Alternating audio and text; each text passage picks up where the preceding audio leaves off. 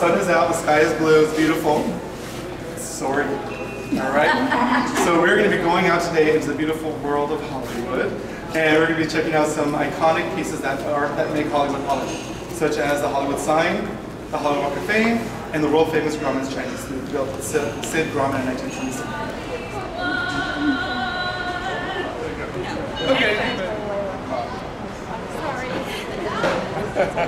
Okay. Sure. All right, everybody got their shot? So this is the, um, one of the entrances of the Dolby Theater. It's also one of the entrances to the Academy Awards or also the Oscars. So one day out of the year, the mall has to commit to completely shutting down, and that's Oscar Sunday. So they basically transformed this mall into making you look like you're in the grandest place ever. Um, they'll put big drapery up to cover all the um, names of the shops. The red carpet literally runs from the front door of the Dolby all the way down the staircase behind you, out onto Hollywood. Alright, clear look down so we can get your photo. I want to see everybody's faces. Everybody faces. One, not yours. One, two, and three. Okay, hold on. One more time. Your call's right for me. All right, one, two, and three. This shot is never pretty.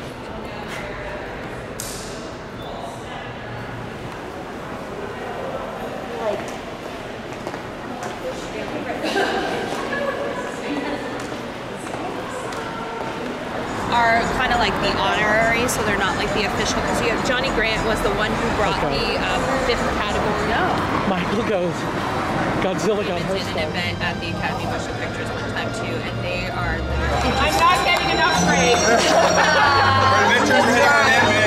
Might as well keep what you got. Below you'll see Steven Spielberg and George Lucas for Indiana Jones and the Temple of Doom back in the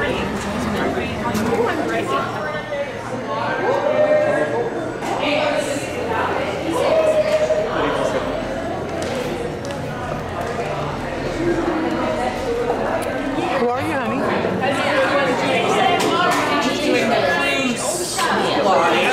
They changed the Great Movie Ride, didn't they?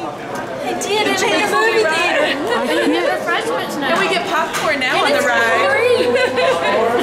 I just took a water from Betsy and it's in here now. Arnetta, let's go on the Great Movie Ride. Avatar being movies that have had a huge impact in our culture synonymous with the Chinese. They're very popular also be on that list as well too. Uh, over here, you'll see we have the first thing you'll see is that giant seven foot tall Darth Vader. This is actually made by Sideshow in 1998. Uh, we played here for seven weeks on your 70th anniversary the following year. And we played here for about two and a half years, and every show. Uh, of course, when people listening are also 77, we actually bought the Star Wars back to the our name on the movies. Uh, we had another movie that was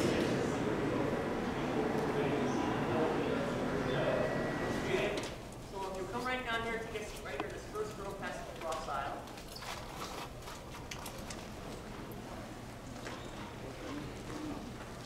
Now, the museum come together with giant brass staples securely in place. Not only are they decorative, but the ventilation though for the air.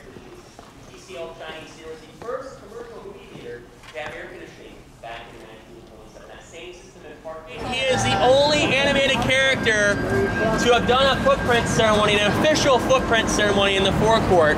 Back in 1984 for Donald Duck's 50th birthday, we placed his web prints in the spin. Now, Mickey had already done a star on the Walk of Fame. and Of course, Mickey and Donald are friends, but they're rivals. So what would be a way that Donald would upstage his friend? He would get his web prints incident versus Mickey getting a star on the Walk of Fame. So we did a footprint ceremony for Donald Duck. At the bottom, of course, you see Clarence Nash's name, C. Ducky Nash right there. Of course, Clarence Nash created that iconic voice of Donald Duck.